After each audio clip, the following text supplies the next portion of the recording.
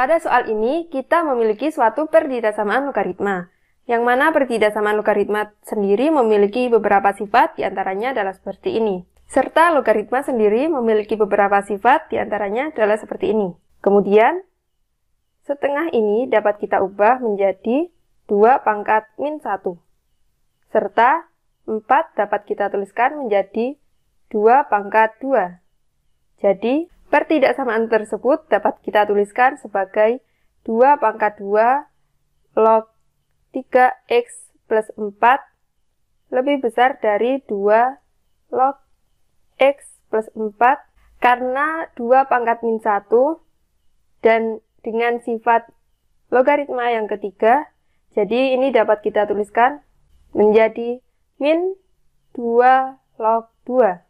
Karena ini 2 pangkat 2, dengan sifat logaritma yang ketiga, maka dapat kita tuliskan menjadi setengah dikali 2 log 3x plus 4 lebih besar dari, nah karena ini adalah 2 log x plus 4 dikurangi 2 log 2, maka dapat kita tuliskan menjadi x plus 4 dibagi 2. Kemudian, jika kedua ruas kita kalikan dengan 2, maka akan kita peroleh 2 log 3x plus 4 lebih besar dari 2 dikali 2 log x plus 4 per 2. Sehingga kita peroleh 2 log 3x plus 4 lebih besar dari perkalian 2 ini dapat kita ubah sebagai 2 log x plus 4 per 2 dipangkatkan 2.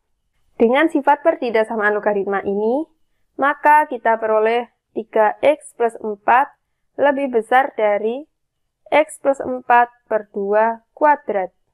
Kemudian kita akan mencari pembuat nolnya dari pertidaksamaan ini. Kita ubah menjadi suatu persamaan. x plus 4 per 2 kuadrat. Jadi, 3x plus 4 sama dengan jika ini dikuadratkan akan menghasilkan x kuadrat plus 8x plus 16 dibagi dengan 4.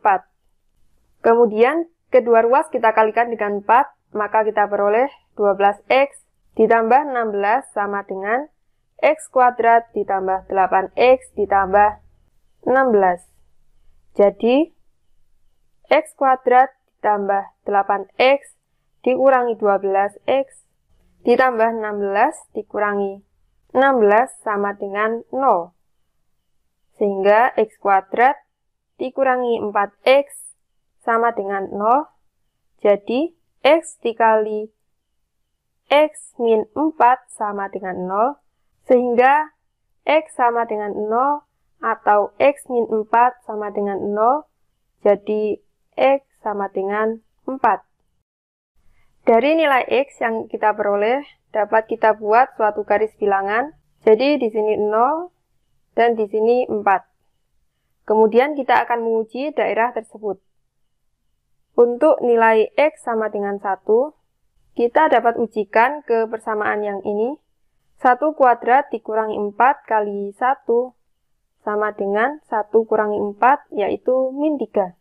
Ini adalah negatif, jadi karena satu berada di sini, maka di sini negatif. Kemudian karena akarnya bukan akar kembar, maka ini pasti selang-seling. Jadi di sini positif, ini negatif, dan ini positif. Kemudian perhatikan tanda pada pertidaksamaan yang telah kita miliki sebelumnya. Karena ini adalah X-nya positif, jadi ini pasti positif, sehingga ini tetap X plus 4 per 2 kuadrat dikurangi, ini pindah ke ruas kanan, 3x plus 4, jadi ini 0. Jadi, jika pertidaksamaan ini kita ubah posisi, x plus 4 per 2 kuadrat dikurangi 3x plus 4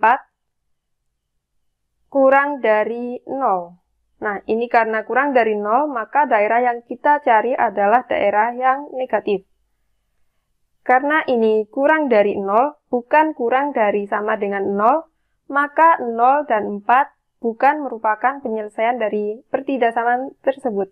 Sehingga himpunan penyelesaiannya adalah X dengan 0 kurang dari X kurang dari 4 dan X anggota bilangan real. Sampai jumpa di pertanyaan berikutnya.